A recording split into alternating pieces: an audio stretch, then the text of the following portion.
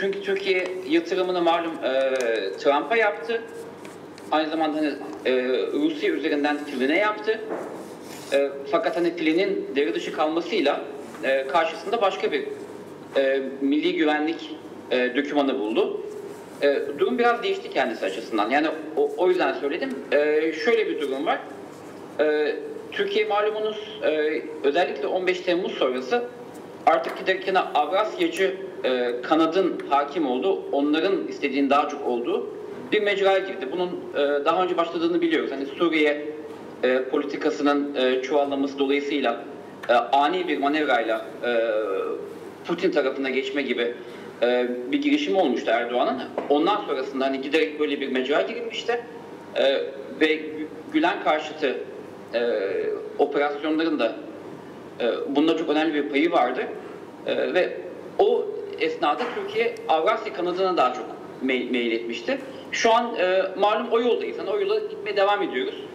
E, eskiden aslında ben şuna biraz gelmek istiyorum. E, çok daha öncesine hani gittiğimiz zaman e, Türkiye'de malumunuz hani şeyde bu e, oturumun da temel temaları içerisinde yeşil kuşak veya e, BOP diye hani söylemiştik. E, ben bunu şu şekilde tekrar ele almak istiyorum. Evet yani e, hepsinden de öte bir e, rabıta bağlantısından bahsed- bahsederlerdi. Değil mi? Yani Türkiye'de hı hı. özellikle sol kesimin e, İslamcılık literatürü. E, buna tabii ki e, sosyolojik bakan e, İslamcılık çalışanları mesafeyle yaklaşırdı. Yine bunu o komplolar altında değerlendirirdi. E, fakat bizim e, şu anda bütün bu e, eski teorileri yeni baştan değerlendirmemiz, yeni bilgiler için değerlendirmemiz icap ediyor. Ve hakikaten e, biz e, ABD güdümündeki e, İslamcılığın, e, yani hangisinden bahsediyorum? İşte ABD dostu Kral Faysal'ın e, oluşturduğu, işte rabıta altında oluşturduğu ve e, topladığı insanların e, geliştirdiği İslamcılıktan bahsediyorum. Ma- malumunuz e, bu İslamcılık her tarafta aslında hani Türkiye dahil olmak üzere her tarafta ciddi bir Suud sponsorluğuyla e, büyütüldü, e, kabartıldı. E, ve buna daha sonrasında da e, Afgan cihadı ile birlikte e, yeni bir bağlantı eklendi. O da Selefi bağlantı eklendi. İşte İhsan Hoca'nın bahsettiği e, Türkiye ilişkin aslında olup biten şeyler malum e, Afganistan'da ve Orta Doğu'da e, çok daha öncesinde ol, olup biten şeylerdi. E, ya ilk aşamada hani rabıtayla daha sivil, daha medeni olan e, bir takım hareketlerin desteklenmesi e, Afgan cihadı birlikte Selefi, çok daha cihatçı Selefiliğin desteklenmesiyle devam etti. E, onda da ABD'nin ciddi bir parmağı vardı. Yani ABD ilk defa bunu desteklemedi. E, o zamanlar işte Abdullah Azzam gibi isimler e, malum CIA'nin güdümünde dünyayı dolaşıyordu. E, bugün hani Selefi cihatçıların çok öyle idaresi ettiği bütün isimler e, zamanında yine e, ABD'nin CIA'nin e, adam olarak biliniyordu. Ve bunlar doğru. Hani bunu CIA mensup insanlar da söylerler bugün. E, o şekilde hani yoldan çıkan bir e, İslamcılık var. Hani zamanında çok fazla e, önemsenmeyen, ya bunun nereye varacağını e, önemsemedikleri bir İslamcılık, bir cihatçı İslamcılıktan bahsediyorum ben. E, o giderek kontrolden çıktı e, ve ABD'nin başında bela oldu. E, e, McMaster daha önce Suud'u da hedef gösteriyordu çok daha evvelki zamanlarında.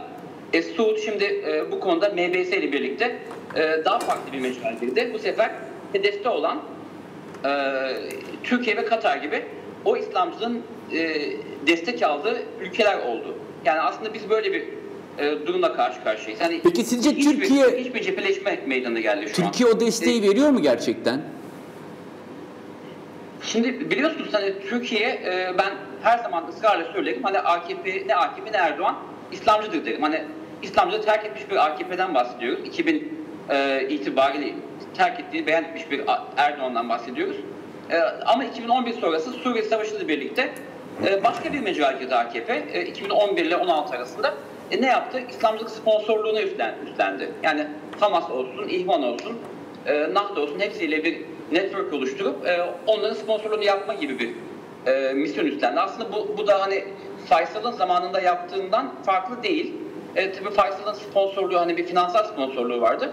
E, o, o finansal kısmında Katar'la birlikte e, deva- götürdü.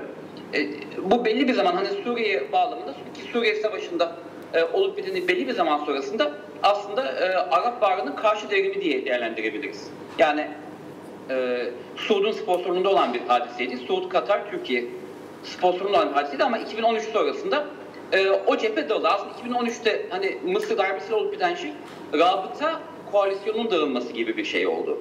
Yani bir tarafta e, hani o Selefi e, daha Vahabi olan e, Sele- Selefilik ile e, daha cumhuriyetçi, daha reformist olan Selefilik dediğimiz işte Türkiye İslamcılığı, e, İran İslamcılığı, e, Mısır İslamcılığı dediğimiz hani kanat dağılmış oldu. Ve e, şu an aslında AB'nin desteklediği kanat e, bütün bunların o, o rabıtada oluşan koalisyonun karşısı olan bir kanat. İşte o onu e, orada oluşan hasarı gidermeye çalışan bir e, yaklaşım. E, bu evet diktatörlük destekçisi bir yaklaşım ama hani o şeyi e, o o cepheyi görmek gerekiyor. Yani yeni bir cephe oluştu aslında burada. Peki mesela şu cümle de var. Siyasal İslamla radikal İslam arasında bir köprü. İşte karşılıklı bir beslenme. Çünkü biz biliyoruz ki literatürde daha demokrasi diyen, e, farklılıklarla bir arada yaşamak isteyen bir İslamcı söylem hakimiyeti var. Ne bileyim işte Tunus'ta Ganlı işi bunu telaffuz ederek pekala ülke e, kendi yolunda ilerliyor. Ama sanki bu yaklaşımlarda bunun da reddiyesi var. Ne dersiniz? Her siyasal İslamcıyı potansiyel bir radikal İslamcı adayı görmek gibi bir anlayış yok mu Washington'ın son söylediklerinde?